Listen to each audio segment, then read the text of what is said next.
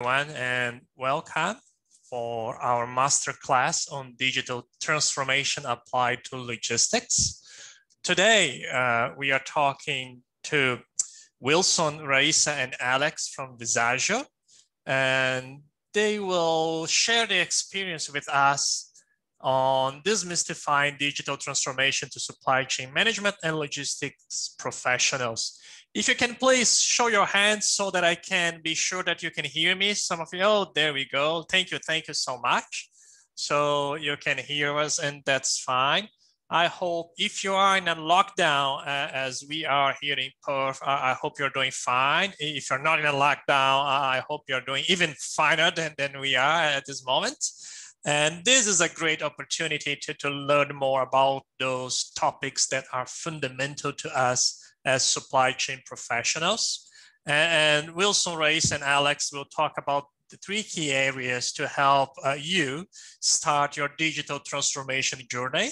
Looks like it is an unavoidable journey for us all given all the advances that we have, all the technology. So how to start a conversation about digital transformation, how to explain digital transformation in a simplified framework, and some specific insights for supply chain management, logistics, and procurement. So this webinar is hosted by the Chapter WA. I am Flavio Macau, and I am the president of ASCI Chapter WA and uh, a few more, uh, a little bit more of information as we move. Uh, so this is the welcome and ASCI doing really hard to bring to you knowledge and information and practical, practical activities. And if you cannot keep up with us up to the end, or if you'd like to watch it again in the future, uh, we are recording this webinar and it will be posted on the ASCI YouTube channel. So if you're an ASCI member, you have access to that information. Maybe you want to share with your team. Maybe you want to, to go back to some specific point. The information will be there. And if you have registered on the ASCI website, this will be one CPD point awarded to you. If you have any questions, please send us an email and we will be happy to answer those questions to you. As you know, we are in an effort to uh, towards that registration pathway. So you can register to uh, ask it in different ways. Uh, this scheme started just a few months ago and you can come uh, as a registered associate and then move to a registered practitioner and then to a registered professional. And the rules are on the website and you provide the documentation, we make the assessment and then you can add this extra to your career, to your profile, to your LinkedIn, and get access to a number of benefits that ASCI provide to the registered members. So yeah, uh, this registration, uh, it you don't pay a fee if you start today. So because today is the last day of June, and then there will be an application fee of $100 uh, coming the following days. So if you have some time today, gather some documentation, start your application because there is still time and you can see that the link here on the website. And it's about providing evidence that you are a supply chain logistics procurement professional. And as you get that evidence and send it to us, we will make that assessment to you. About the webinar today, so we will have Wilson, Raíssa, and Alex talking about these topics at any time, uh, send your questions uh, in the chat or Q&A, and we will be happy to have this interact interactive uh, experience with you. Uh, and to the best of our abilities, to the best of their experience and abilities, to come with a good answer, proper answer to you. So without any further ado, I'd like to invite Wilson from Visagio to start his presentation. I will stop sharing my screen and I'll let it up to you guys. There you go. So Visagio, if you can start sharing your screen and Wilson, thank you so much for coming and starting the presentation. Thank you very much, Flavio. It's a, it's a very good pleasure to be here. So thanks for having us.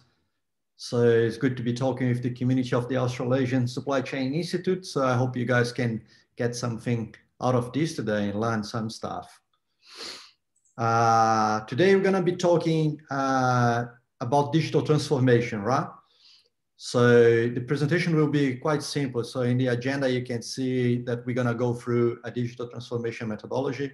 Then we're to talk about a case study, which will give you, you know, the practical example uh, of these things. So there is a company presentation there in the agenda, but uh, today I will not bother you with that. So you're gonna have some uh, takeaways that you can take a look on that later on. So before I advance, so I just would like to start acknowledging that today, today uh, is a is an interesting day. So across the country, we pretty much uh, in lockdown in many places and etc. Here we're meeting online. But I would like to uh, acknowledge the traditional owners, owners of the lands that we meet. So acknowledge the elders, the past, present, and future. Here in Perth, where we are, that's the Whadjuk uh, nation of the Noongar people. Uh, so here we go, digital transformation. Uh, what are your expectations, right? So uh, we tend to do these sort of presentations more interactive. Today, I will, oh, by the way, that, uh, you know, this presentation is intended to go for roughly 30 minutes and we're gonna have Q&A later on. So if you do have questions, you feel free to send in the Q&A box there. And if you, if we can respond in, in between the presentation, okay, but anyway, so we're gonna have some time to do it later. Uh, every time that we start with the expectations, so we do what we call like a digital warm up. And what I mean by that is that digital transformation is such a big uh, subject that sometimes the expectations of what we're to show here goes goes wild, right? So you could be thinking about, uh, you know, how you can digitize your processes. You could be thinking about uh, you know, the use of technology, which is more like when we talk about digital transformation, we think about like the use of the technology. At the end of the day, we're going to introduce you guys a more overall uh, um, a methodology about digital transformation, and we, we ended up going to the technology, which is what people feel more comfortable with. So when we talk about digital transformation, I, I, we normally do a step back and we talk about core of transformation, transformation itself, right? Uh, just to set that scene where we really think about why we're talking about transformation. And we, we, we don't, we talk about transformation business transformation and digital transformation for necessity, right? So uh, is there are lots of researchers out there that say that you know companies that don't innovate, don't transform, they ended up becoming obsolete, and that's uh, uh, vital for actually the the survival of the companies. Every time that we talk about transformation itself, we're always looking at profitability, cash flow, longevity, and growth. Uh, we look at transformation in three universes: the operational transformation universe, when we talk about operational transformation, it's all about the efficiency of assets, right? So how can you optimize your assets, your utilization, uh, so you can uh, perform better and and and have a you know as a, an impact, have an impact in the margin of your business and the cash generation. In the commercial transformation uh, universe, we focus more in the customer experience, and I I can even actually uh, extend that concept of customer experience, of you know, stakeholder experience. Sometimes in supply chain, we talk about inbound, inbound supply chain, which is, is, not, is more the vendors that you deal with, and the outbound supply chain where we actually liaise with the customer. So commercial transformation is all about improving that commercial experience. Is is focusing, you know, optimizing your channels and aiming at increasing uh, sales. Then we come to digital transformation. Digital transformation is a more, uh, as I mentioned before, we, we, we, normally talk about technology, but I would like for you to, uh, to self-reflect on, on, on this definition here. When we talk about digital, we're talking about transforming the culture, the skills needed by the workforce, you know, uh, new business models like you know, new digital products, new uh, sales channels. Uh, so you can you can actually uh, via digital help to transform your uh, your business, right? So the way we do it, how we do it, uh, you know, so we, we use that sort of technology and people sort of analogy. So you know, we're gonna develop those digital technologies and and develop the organization, the people to be more uh, technology to be more digital ready. Okay, when specifically about digital transformation, we use a simple framework to show what we mean by what I just uh, mentioned. Uh, we have this uh, this model where when we're talking about digital transformation, talk about uh, strategy and business models. So it really needs to come back to what is the vision of the future for your business right? So how, how do you differentiate yourself from the competitors? What the trends in the digital? What else can you add value to the, you know, to the customers? And how the digital models uh, and physical models can coexist so we can uh, have a, a, you know, a, a business that's, that's more modern. So then we go to the people and management model. So if you're going digital, so how going digital will impact your goals as a company and how they will impact the culture of your company. How do you disseminate that culture of innovation, experimentation, agility, you know, the client centrality, those aspects of culture that are fundamental for, for, for digital uh, organization and how you measure performance, how you track, you know, if you in the go in, in, in the right way, you know, as you with your new uh, people uh, orientation, how you make sure that you can measure uh, properly. Then we have the operating model or operation model. This is really about uh, you know putting the customer experience at the focus of it. So you know it, it, it really about your customer, really about your operation, your supply chain, marketing, commercial. Uh, is really about being more efficient in those aspects, right? So if we're talking about your your inbound supply chain and you have you know your relationships with your suppliers, how can you uh, make use of a different business model for your interaction with your suppliers to be uh, more efficient? How can you use those digital technologies for you know as improving transportation, improving you know the uh, your your your orders, you know, to make sure that you have a more timely, in a more timely fashion, you can do those uh, those supply chain, the inbound supply chain processes. And and in the outbound, uh, how can you relate better to the client? What are what are the channel, the sales channels that you're using? So you have a physical shop. So are you online already? How you promote that sort of online sales channels? Uh, and let's not forget the internal processes as well. There's lots of things that you can automate in the internal processes to make sure that you, you you're more efficient. You do you, you have a better you're more you, you are more lean organization. In you have a better processes in place. Uh, last but not least, we talk then about technology. Right? What are these technology architectures that will enable uh, you to be a more digital organization? right? So let's go and take a quick look in each one of them. When we talk about a strategy, that's the conversation that every company uh, needs to have, right? So whether you're gonna be innovating in your core, which is in what you already doing, just doing in a different way, uh, just bringing digital to do better what you already do. When we talk about adjacent innovation, we talk about those complementary markets, new products, and etc. So you're actually getting out of your core, out of you know that sort of comfort zone of the company, and and and going into uh, uh, new products. And the transformation is when you create a new market or create a new business model altogether, right? So if we can think about those uh, those three so if you if you have a manual process and you're just automating, so you're doing innovation at the core.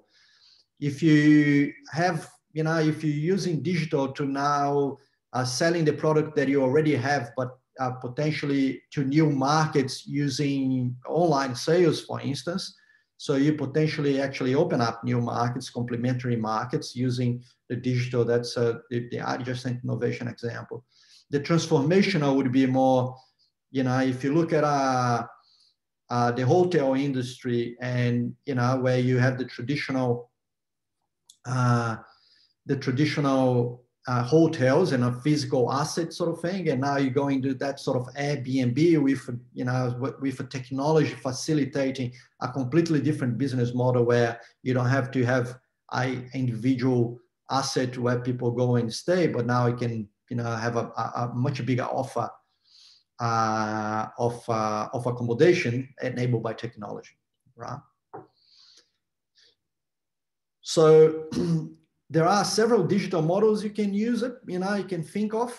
So it depends on your business you are. So if you are in a retail business and have that sort of, uh, you know, logistics as a core capability uh, uh, in your business, so you know, can be talking, uh, you know, as about subscription models as, as, as a different way to sell products. Uh, you can be looking at a marketplace. So uh, in, if, you, if you look at a, even if you look at our shops like uh, Nespresso, right? So you look at Nespresso, that you know traditionally would be just a retail shop selling coffee machines, and now this guy's going to a more subscription model, where where you create sort of that lock-in with the client, and and uh, start to operate in completely digital digital uh, fashion, I guess.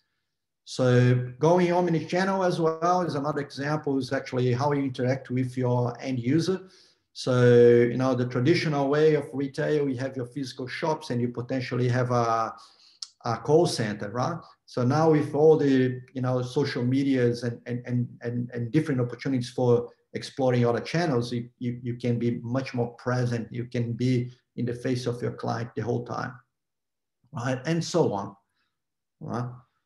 When we talk about people in management, uh, that's you know the cult- cultural elements that you have to uh, talk about when you uh, when you thinking about uh, you know your, your culture.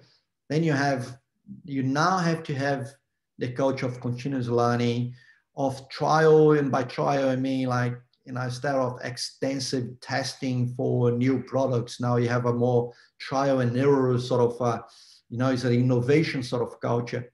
So you need to be data driven, custom center, uh, uh, much more you need to challenge those hierarchy or, or, or, company governance models where it becomes too hard to innovate. Now that's you need to, to change now.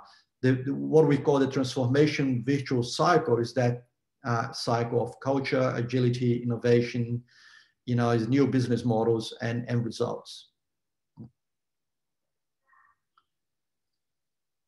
As I mentioned before um, about the operating model, operating model is now, you know, when you put your customer as a center of, of everything that you're doing. So, and you can uh, consider mainly automation and customer centrality as something that will be core to what you do. So, and least but not last, so this is something that when we talk about digital, people uh, uh, refer more to.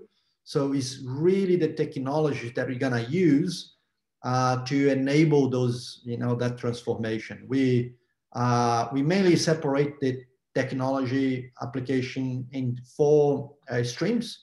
We talk about process automation. In process automation, we have things like, you know, the RPA, robotic process automation.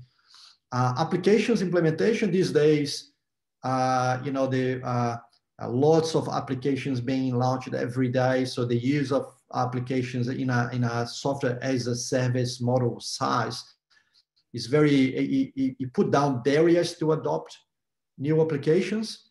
So uh, we would be, you know, looking at adopting those applications or, or, or developing our own applications there. Third one is the data and BI infrastructure. Data is pretty much uh, is, you know, the backbone of all this digital transformation. Uh, but we need to be aware that behind behind the scenes there is, a, a, you know, is a is a complex and intense need for a proper infrastructure for for data. Uh, and the list again, not last but not least, is the analytics and artificial intelligence. Is really, you know, the use of this data to to enable the decision making in the business, to enable, you know, to uh, to enable that process automation uh, in, in in a in a more efficient fashion. So analytics, you know, can start from a simple reporting or dashboard and go all the way to, to artificial intelligence optimization models where you're looking at predictive models and etc. Right? So uh, that's that's pretty much theory. So I won't hold you uh, to that uh, anymore or any longer. So I'll pass on to uh, Raíssa and Alex so they can show you a real example of you know applying this. Cool, thanks Wilson. Um, so I'm gonna start off um, with just explaining a little bit of a journey that we went with um, the planning department, like the logistics planning department of a mining company here in Australia. So I want to take you through. So we've been working with them for a couple of years now, and we've been through many steps of this journey, like this theory that Wilson uh, took us through. Uh, but just to put in context, so the part of the like the part of the com- of the company we're talking about, so it's responsible for planning. So it's planning of um, of the company that part of since capital prioritization to the monthly plan. So they take care of all this part. So we have the strategic planning, but also they help understand what should be the best um, decision uh, to be applied, like the best, the next improvement to be done in the future. And also establish the new plans, um, like the actual plan for the shorter horizons. Um, but this department specifically, they wanted to do a bit more and than that. And actually they try, like they, they define an objective of actually being the responsible for like supporting companies growth, the company growth plan, growth plan, by providing insights to the business in a timely and reliable way. So you see how the objective there is really focused on the technology. Like when you think on timely, uh, reliable, this like you have to think of how you're gonna empower that with your tool set. Um, so that's and we went through a journey to get to that that we're gonna take you guys through now. So everything started with um, the initial concept. So the, the, the department was founded and they started thinking on how can we do better analysis and we can provide better insights for the business. And in order to get that, they created like um, the idea of a simulation model. So the simulation model is in essence, uh, the name says it's like a, a, programming, like a, a, a, solution in the computer. They can actually simulate everything that's happening in your supply chain. So it's often called like the digital twin. So the idea is that you can test different approaches, different methodologies, different like solutions for improvement in the supply chain in your computer before actually implementing that in real life. Right, so this was the core of how everything started. And a few years back, it started with just what would, we would call a black box simulation because it was um, a program provided by an external provider um, it was hard to make improvements to it. Like we would we would be like highly dependent on on people to like, and it was not very specific to the needs of the company. Uh, so this was when when they had like the big shift. Um, they say, okay, maybe if we wanna move on to something more robust, something more specific, we should like take a next step. So that's why that's when they move on to a next step in their journey, which is actually kick off a project to actually do a simulation in-house. So they still kept, so on, when Wilson mentioned about the horizon, so you can actually be think of innovation in the three different horizons. So you can still be improving your core. So for example, they you still need to focus on keep delivering what you have. Like they already had clients back then, so their clients are in the company itself, right? They're service providers for the company. So they already had clients. They still had to maintain a high service uh, level. So they, they were still providing support for them. But at the same time, they developed a whole new cell inside the department to actually prepare for this new era, let's say this, where they would be building the new things um, themselves. And for that, there was uh, all the aspects that Wilson mentioned had to be in place. So we had like the people in management model. So we need to think, okay, what sort of people do we need to accomplish this, right? Before maybe we had a lot more analysts, a lot more like SMEs in certain knowledge like in supply chain, but now we actually need to bring more data scientists. We need to bring people who like programmers, people who know how to like deal with this sort of technology. So it's the whole sort of mindset. And then the operating model as well. So I mentioned about keep delivering the current projects, but then how are we going to maintain that in the future? Because the technology has to evolve and has to be maintained. It's not something that you're going to implement and leave. Or How do we how do we prepare ourselves for the future? So always thinking ahead on that. And the technology as being the foundation, right? So the, the technology is the last, but it's actually the foundation for everything, which is the actual model itself. So this all started and the discussions and everything that was growing after this uh, that we're going to talk about.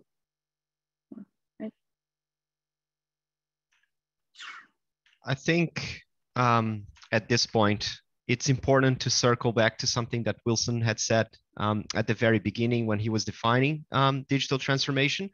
So digital transformation, there's there's a common um, habit of us to think about it in like translating into new technology exclusively, but it's not necessarily that. So as he was explaining, as as Raíssa as was explaining as well, there are cultural and strategic factors that drive you to what technology do you even have to use in the first place, right? And the migration from a black box simulation, which was a third party, a third party solution being provided to us, to something that would be developed in house was actually quite a big landmark to what we were doing in terms of strategy in the business, right? Because that by by by you know acquiring the capacities of being able to develop a simulation model in-house that would change fundamental things like how do we hire people what specialization are we looking for and even on the org structure how are teams going to be structured to be able to cooperate together? Because one of the main challenges that you would face on trying to migrate from a black box solution to a in-house solution is that while this was being developed, because the scope was quite ambitious, so while was this being while this was being developed, you would still have to deliver uh, your results and your analysis and your simulations by utilizing what was there before. So managing that pipeline and making sure you have something that is sustainable was very um, important at this stage. Uh, but there were um, almost uh, almost like chain reaction events that came from this expansion in capacity. So we have reshaped and we have changed the way we hire and the way we train and the way we we, we give people roles within the team to do the in-house simulation. But with those set of skills, we have actually opened ourselves doors and opportunities to be developing way more than just our simulation model. So um, I'm going to talk about three of these aspects in particular. And the very first one is the data management platform. So, with uh, simulation being the core of what this department would do, it's uh, easy to imagine how you would uh, utilize a lot of data to be able to set up this properly. And, and you will also generate a lot of data as the output of this simulation. So, having a sustainable and reliable data management platform was crucial at this point in time and because we have been growing and maturing to in terms of our skills, we were now no longer only a team that knew how to utilize technology. We were a team that knew how to create technology as well. And this is what we were going for this. So making sure that because data is at the center of decision making, we would have the capacities of take care of our data, manipulate our data, treat and store and publish this in a way that is um, in the same pace as the business would grow and the demands would grow with it. Um, but data itself is not uh, only what you can progress on. So even though we had our data situation going in a very good direction, there was uh, still a lot of analysis and a lot of data crunching and a lot of insights that the that the team would need to drive. So this is where the applications were really fundamental in the in the in the pursuit of transformation on the things that we do. Um, it's because before we went for the web applications as, as one of our strategy guidances, um, the team was very much reliant on using spreadsheets or custom uh, methods of their own to be able to work the data and to be able to drive the insights.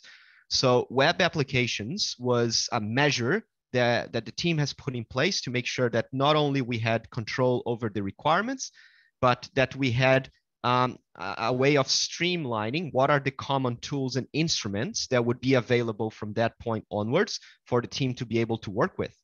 Um, and the reason why this is so useful compared to what we have before is because when you centralize a web app, when you when you streamline your team into using the same thing, you are also facilitating the distribution of improvements and fixes and the evolution uh, of what that department is going to be doing uh, as its core operation, as its acting methodology. Uh, but only the web applications and the data management platform were still not enough. So we were always eager to drive change and to make our team more efficient uh, because we were developing so much, because we were so concentrated into creating technology. It was uh, it was it was a challenge that we had that like the solutions and the tools and the data spaces that we would develop were not necessarily um, growing at the same pace as our headcount. And if you think about it, the idea is not that you keep increasing headcount, right? The idea is for you to go for performance, for cost reduction, for you to have an optimized team that is focused on driving innovation, on doing actual intelligent work in this, instead of, um, let's say, being overwhelmed by business as usual activities and mechanical tasks and all of that. So the process automation was the third end of this uh, triangle.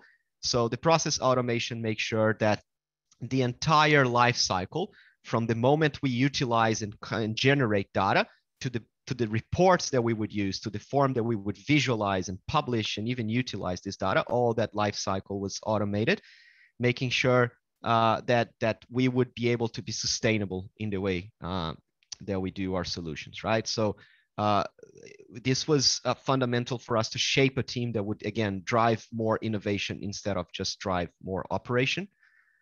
Um, cool. And I think um, so. Yeah, this was the these were the main steps that we went through. Uh, but I think it's important to highlight that this is laid out as a line here as like a, a, a straight timeline, but it, it didn't actually happen like that. We had like data improvements along the way. We had web applications that were happening along the way. So this was just us trying to bucket that out and seeing that in the end, everything will become one single toolkit. But you may be wondering, right? Okay, so you've done all this work, you've done spent all this time doing all these new, new features, but what, what's the actually impact? Like, so what? Like, what actually happened? So it's actually a very cool achievement that uh, with this model that was built and the whole structure around it, we actually are able to identify, uh, we do an average every year, like try to make like a, looking back of all the projects that we've been through, that we can actually identify between five and 10 billion tons per annum in saving of initiatives. So the initiatives can go from identifying like replicating a new asset, like, uh, like simulating a new asset that's gonna be introduced to the supply chain, but also like helping with like alignment of maintenance, better utilization of equipment. So many parts of the supply chain could be simulated there, which brings a lot of value to the business. So this whole transformation actually allowed that um, in the in the long term. So, but this was only enabled not only by the environment that we built of tools, but of the culture we've built around. So I think if there's one message we want to get across uh, today, is that not always like the technology is not the the core of this. The technology is the enabler, but the team and the culture has to be the main driver, right? So, for example, when you have that culture of innovation, the, the circle of transformation, that's when you get, that's when you see change, right? So, when you get like the culture of a team that's constantly evolving, you have that innovation mindset. That's when you're actually going to be looking for new solutions. You're going to be thinking outside of the box, and you're going to be um, doing like doing quick wins, doing things that are going to add value to the business. Um, so I think this was a very major, a very important part of what we're doing, uh, as well as like the data-driven decisions. So Alex mentioned a lot about this, and I think that's the core nowadays. So we have a lot of data, and we need to base our decisions in data, right, rather than just um, some thoughts and some things that we, we may have in our head. Like, of course, that's very important, that's very valuable, but when we can actually prove our analysis based on data, that's actually that's a win.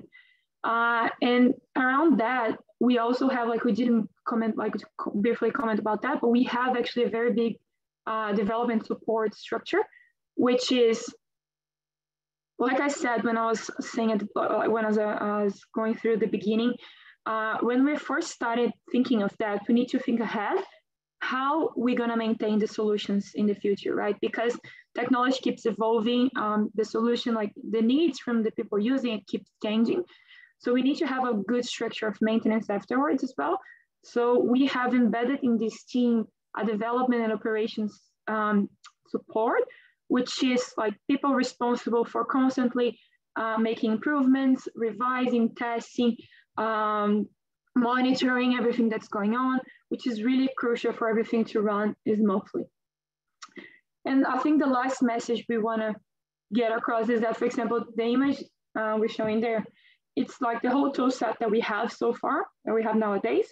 We can see there's a lot of different technologies, maybe icons and names that you have never seen.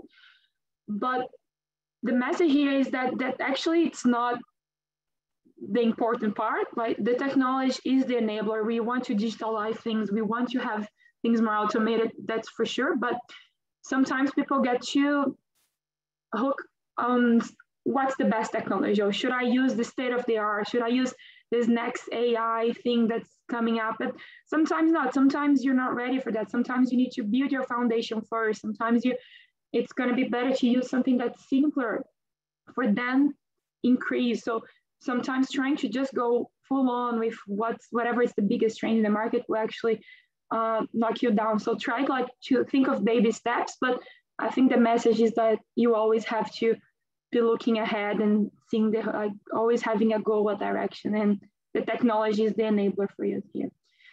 And I think in terms of timeline, we have like a, an arrow going there. So I think uh, this is the case and the things we've done so far, but there's a lot more to be done. Like, as I said, technology is constantly evolving.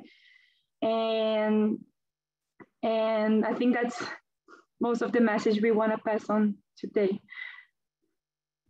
think just uh, just one comment I would add um, to that, Raíssa, is um, like we said before, it's it's amazing how when you're moving into the right direction, some of these progresses, some of these evolution, uh, it, it, happens as a chain reaction of other things you can't always predict. Um, and the thing is, by automating processes, by creating new instruments, or by working how you utilize the data that is even driving your, your decisions in the first place, all of these things they correlate with each other, even if you didn't originally plan for it, in, in manners that it, it forces you to re, to do the exercise of looking at what you have and criticizing what you have and challenging whether you're evolving at the pace of your demands and everything like that. So uh, it's no coincidence that, for example, some specific circles in that technology graph over there are connecting to, multi- to multiple green circles. It's simply because all of these things they they sort of work in cooperation, right? And this is how uh, and this is how um, disruptive, I guess, the transformation aspect of it all is. It's just it's just that explosive effect of um, chain reaction.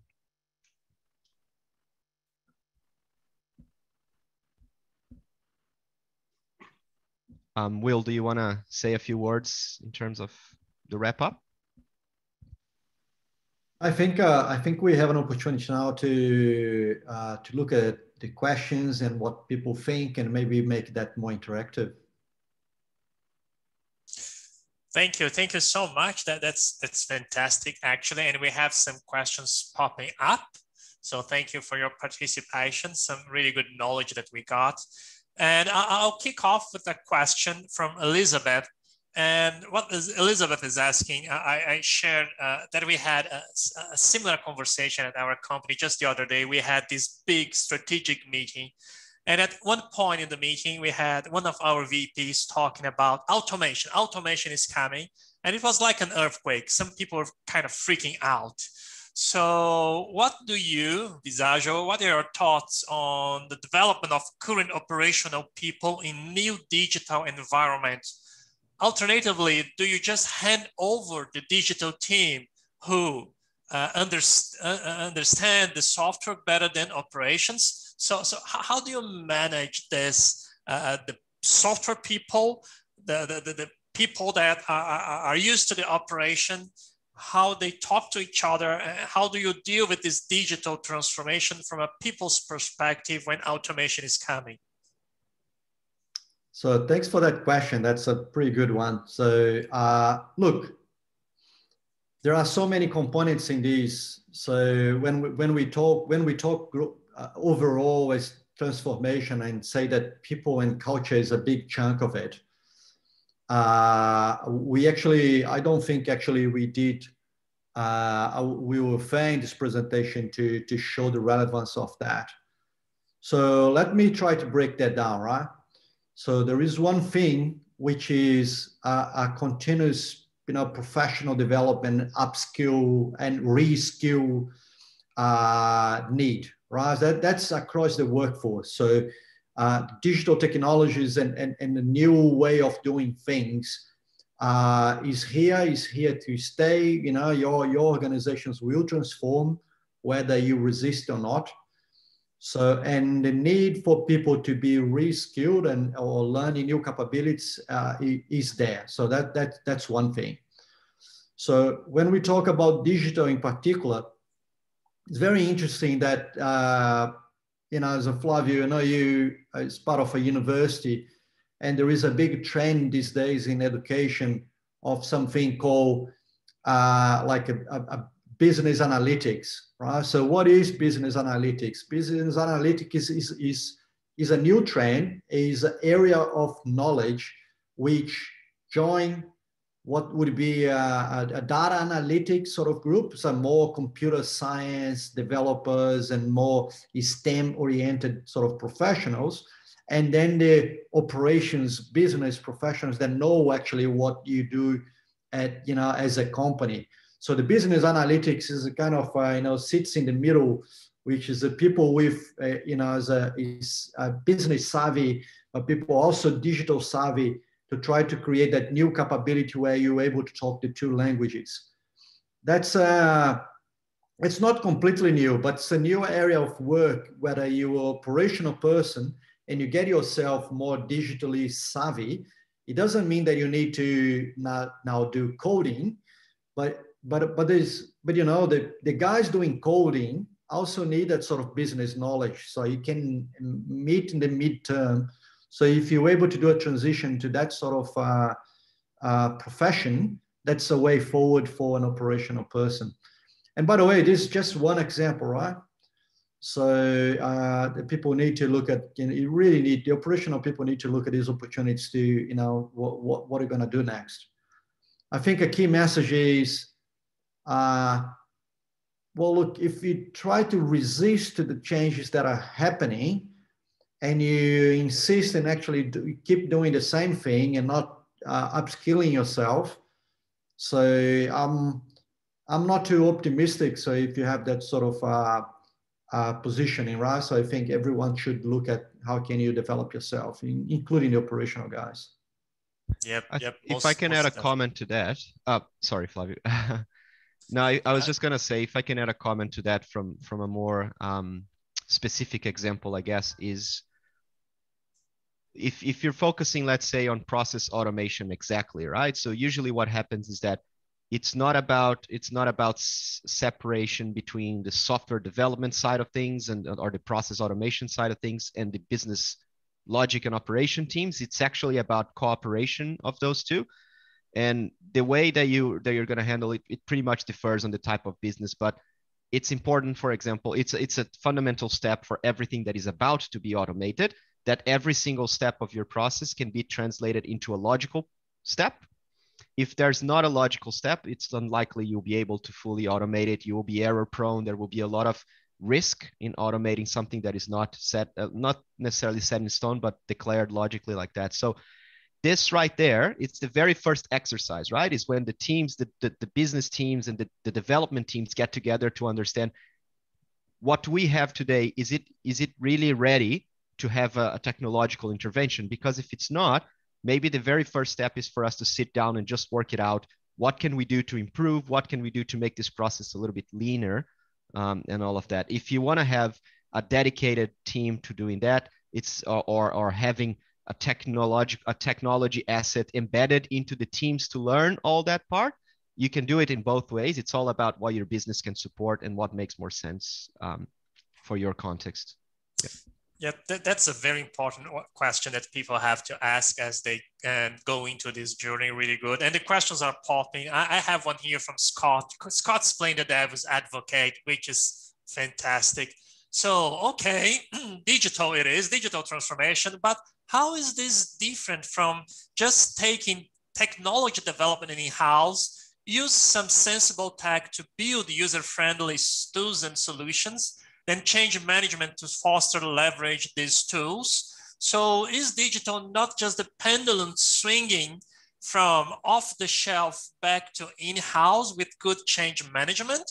Isn't this digital thing uh, kind of something that we have seen before?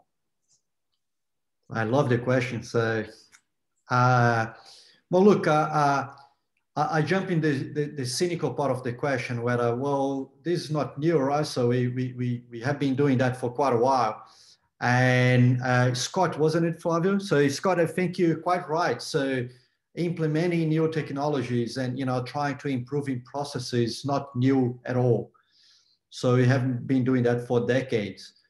There are a few things though that are new, right? So uh, there are things like uh, you know the, the, the pace of the change. The pace of the change is quite new. So uh, you know, it's uh, two decades ago. So uh, you know uh, how you increase your technologies in terms of the capac- capability of the technology. So it's completely different, right? So we talk about storage of data. We talk about computer speed, things that actually enable much more significant changes.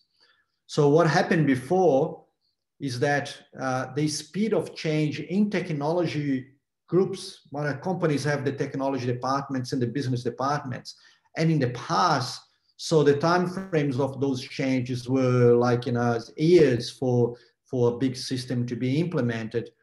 So whether now you can afford that, so you don't have any more years to make that change. Your organization change every six months. So how can you have a technology being done every three years. So when we use a, a more new fashion terminology like digital transformation, we also mean that agility is a big part of it. And I can even uh, uh, talk about the, the last question in this context as well, because before we have those silos of people that do technology, people that do business. Now we have this thing, like in almost the technology department uh, in my in my views, actually gains a completely new format. It embeds into the organization, into the business departments, so you can do that in a more agile fashion. At the end of the day, yes, you're right. So it's not completely different, but the way, the pace of change, the way you do change management, the, the, the actors, the role of the actors in those projects uh, are, are new. Fantastic. And I, I, will quick fire a few questions because they keep on popping. We have this one from Joshua. So Joshua asks, so you mentioned that the department you work in operated as a service provider to the rest of the company. So how did you manage client demands with the internal work that is required to transform the department into a more efficient and valuable service? Quick fire for this one. I think I can take this one. So I think um, clients is the main reason why we would exist as a, as a like the department, right? It's an internal provider. So the priority is to keep delivering the core, right? To keep improving and delivering uh, what we do, what we have at the moment, and like adding value to the business. And I think it it it just it gets on a wheel, right? Because you you actually deliver more value, you're gonna have more clients, and then it becomes more evident how we actually need to improve and spend more time and effort on that. So I think it, it would it did impact like that's why when I said about people at the beginning I I, I mentioned actually bringing more people. So it actually meant having people dedicated to actually do this part of the improvement and also having people focused on the core. So uh, in the end, they all merged to the same team, but it was good to have this clear split as well. So you don't get people who are actually helping thinking on the on the next, not so hooked up on the on the BAU part of things. Uh, but I think it comes down to really adding value and keep adding value to what you already do. So then you demonstrate that you actually can improve and and spend more time on that in the future to make even better. Um, I think just one thing to add to that as well is in in in regards of prioritization, right? If you have a lot coming through, um, the main driver of your prioritization is always going to be the business direction, right? So what we're talking about here is a, is a supply chain, and the supply chain will have a strategy for improvement, and that improvement may focus on specific aspects or on on particular sections of it. I think the very first level of assessment when prioritizing work coming through in this scenario would be whether that request is aligned to the business direction. And then if it is, it almost as if it almost gets transferred to like a second queue sort of structure. And from that on, uh, we we would do uh, several others, several other exercises of assessment. Yeah. Okay, great, great one. And now we move to a question from Vijay, which is a very specific question. And I like that because it goes to the core of things that we do. So on your last slide, you had multiple softwares that are integrated to the perform the, the automation. I'm assuming it was chosen uh, such that CapEx or capital budget reduction was the end goal. Can you please advise the impacts in OPEX in terms of ongoing costs associated with it? I'm not asking for exact number. You can provide indicative percentage with reference to CapEx. So uh, uh, summarizing the question, the impacts on CapEx, OPEX, how that work on that project, what you can say about it? So thanks for the question, uh, Vijay. So uh, look, there, there is the, the need, there is a need to be a financial model for every initiative that's being done, right? So you have you have different things. So you have the the transformation that the project, the, the transformation that the department went through, which requires uh, a, a, big capex with you know as a new technology, new uh, you know new ways of operating, etc and that follows a more traditional um, model of return of investment. So, you know, at the end of the day, this all exists because of the business and results that you can achieve with it. So we have a whole lot of, uh, you know, gains or results that, you know, came from this digital capability in this, in the supply chain uh, planning scheduling department. So, and that's respond to the capex because we have the traditional return of investment there. So, in terms of the opex, uh, so if you if you if you compare to the opex of your technology department in the past, uh, it doesn't differ much. So what you what you have in the business now is more like a, a reorganization where the the operational uh, costs are. In, in, it is not all embedded in the technology team, but is embedded in some of the business areas as well. Uh, I don't I, I don't have exact numbers to share. So uh, uh, and I'm happy to look at percentages more more specifically and maybe share later on Vijay So it's a number that I don't have. Yeah, I think the message there is definitely bring your finance people to your supply chain logistics and procurement projects because they are definitely important on those considerations. And then we move to a, another question now from Tom. And Tom, I totally share uh, uh, uh, your worries on this question. So can you please comment on how you manage data integrity and data security across multiple systems and business process as part of your digital transformation? This is a big headline. How do you do it? Yeah, so I think, sorry, you wanna go, son? you, can, you can start off, I'll jump in. yeah, I was going to say that I think um, data security. I think it's actually it's a very critical matter, a critical matter, and I think we have like a whole department in this company just focused on that. I think we often, although we're bringing the technologies to the business, I think these are parts of that are managing a little manage a little bit outside. I can talk a lot about data integrity. So we have many things in place to make sure the data we are using is the right data and we do automated checks. So I think that's where the automation comes in quite a lot. So we have like systems health checks and we have dashboards and we have, yeah, I think automated validations and things to identify if there is any issues with the data. So we are even in a process of like adding more AI to like actually having like understanding the context of the data as well. So not only if it's negative, so you can you can put a few things in place to actually identify issues with your data. They are more structured, but you can ask also like think of even other ways that these are more automated and it, it learns with itself, right? So we can do like AI to improve this, as in the uh, yeah, the AI would get the context of the data and understand when, when is the issue. So I think this is a major part of what we did there. And I think it was one of the main reasons why we did that data management system in the first place, because we weren't so comfortable with the data that was given us. So this data management platform that we built actually does a lot of treatment of the data as well to fit, um, to adapt and like the way we need it. Yeah. So I think you want to compliment. Um, yes, I was just going to say the model that we tend to work with in, in regards of data storage and access is via data warehouse. And then between a data warehouse, in a simplified view, you can imagine all your core systems feeding you the raw data. All of that gets dumped into a staging um, space. And then from that staging space, you go through several steps of treatment and grouping and shaping and transforming until you get to what your business logic needs to uh, apply for context. And then from that, you, you then land up on what we call the data warehouse. So when we are performing analysis, when we are doing work, when we are uh, driving decisions from these numbers, we make sure we are already reading from a stage where data has been treated. So we never, as a, as a method, we never necessarily go to the raw data or to the to the pure system data um, for insight.